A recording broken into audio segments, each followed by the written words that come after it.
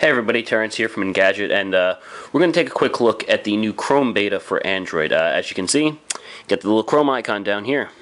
You open it up, you launch it, and this is um, Google's attempt to sort of bridge the gap between their desktop browser product and the default Android browser uh, that comes prepackaged with uh, every Android device. Now, uh, for the moment, this is uh, ice cream sandwich only. Thankfully, I happen to have a Galaxy Nexus here, so uh, I was able to take it for a quick spin. Now, uh, you'll see uh, more full-fledged ACID and SunSpider scores in the hands-on post itself in the text. We've got a whole chart there for you. But I will tell you, while it is fast in, you know, actual use, you don't seem it doesn't seem to have any hiccups. It's not noticeably slower than anything any other browsers that we've used.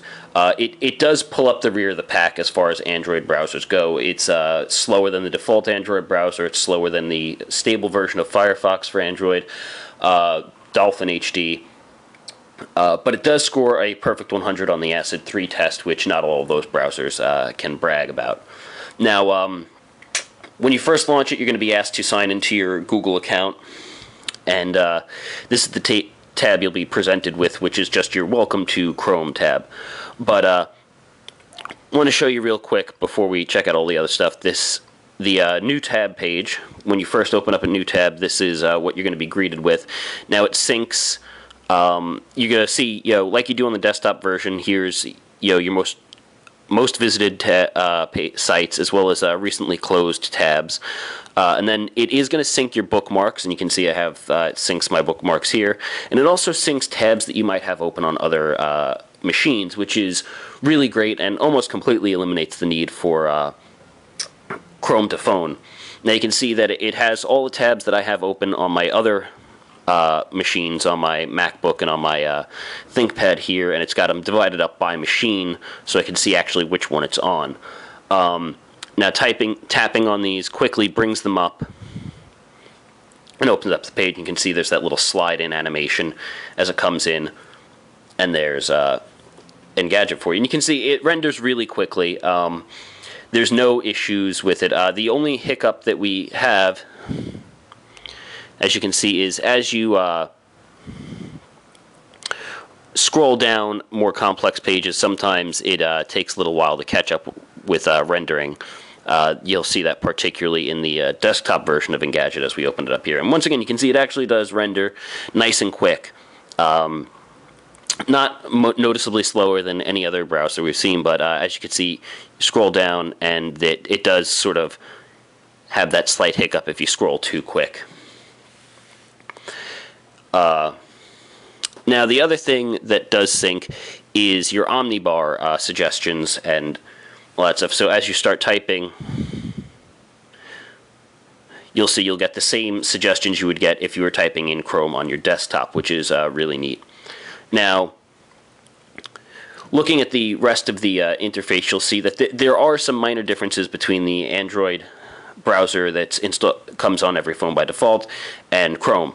Um, up top is the address bar, as you'd expect, along with the tab switching button and the action overflow button. But uh, this bar, unlike the default Android one, doesn't disappear as you can see as I scroll down. It, it stays there, which uh, is nice for those who want to have uh, quick and easy access to all their controls all the time, but might get a little frustrating for those, for those of you who want to dedicate as much screen real estate to a page as possible. Now you do have a couple of different ways to switch tabs. Tapping on the button up top opens the tab overview like this. Um, just like it does pretty much with the uh, standard Android browser. And if you switch into landscape mode, it switches the orientation. Uh, and you can sort of swipe between them. You see here, it stacks stacks them up and compresses them. You swipe left and right, and there's these little neat animations, kind of like the uh, home screen on Ice Cream Sandwich that you know has them tilting as you reach the end.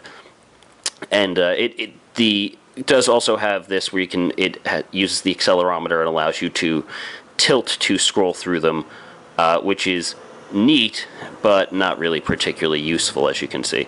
You can fling it the faster you do it, the quicker it switches between them. Now the other way to switch tabs is by actually just swiping left and right, uh, just sort of flicking the page off the screen like that.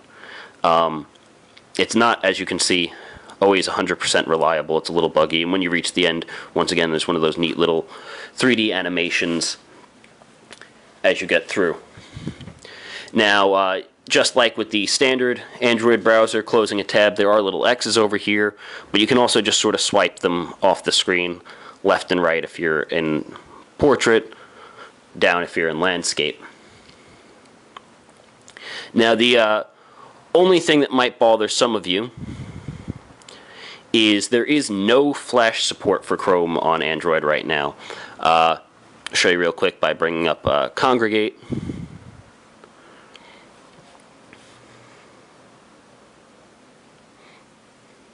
And if you open up a game,